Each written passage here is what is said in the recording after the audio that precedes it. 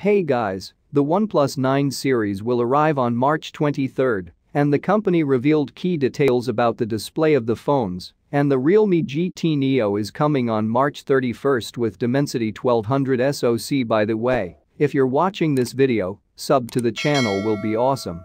According to the panel, will be LTPO with adaptive refresh rates from 5Hz to 120Hz. The resolution of the screen is said to be 2K plus which means Quad HD or 1440p. We expect to see both the OnePlus 9 and OnePlus 9 Pro adopt the new screen technology, just like Oppo did with its Find X3 series, after all, there are plenty of similarities between these sets of flagships, including the fact they come out from the same factory. However, unlike Oppo, OnePlus actually decided to get the screen tested by DisplayMate and received an A+ grade. It isn't surprising the panel is so good, given the raw specifications, it has a true 10-bit panel with 1 billion colors, as well as 8192 steps of brightness adjustment.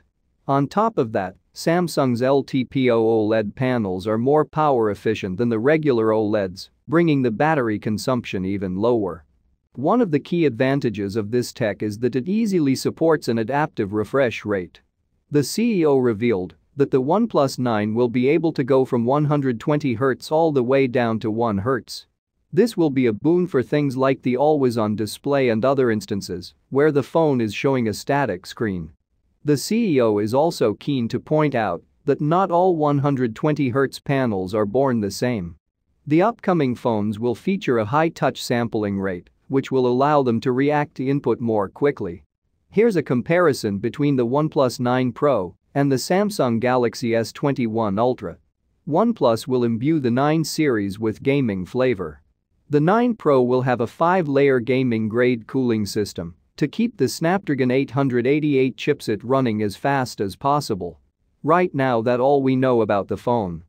Back to Realme GT Neo, the Realme unveiled the Snapdragon 888-powered GT 5G earlier this month and teased the GT Neo with the Dimensity 1200 SoC. While the company is yet to detail the GT Neo's specs, it's confirmed that the GT Neo will be unveiled on March 31. A Realme smartphone bearing model code RMX3116 and believed to be the GT Neo was spotted. With a 6.55 curved screen, Android 11, and a 4400 mAh dual-cell battery. The phone's rear panel has the Big Dare to Leap text and a rectangular camera that appears to house three cameras and LED flash. It also supports 5G that's all we know about the phones, and don't forget to subscribe.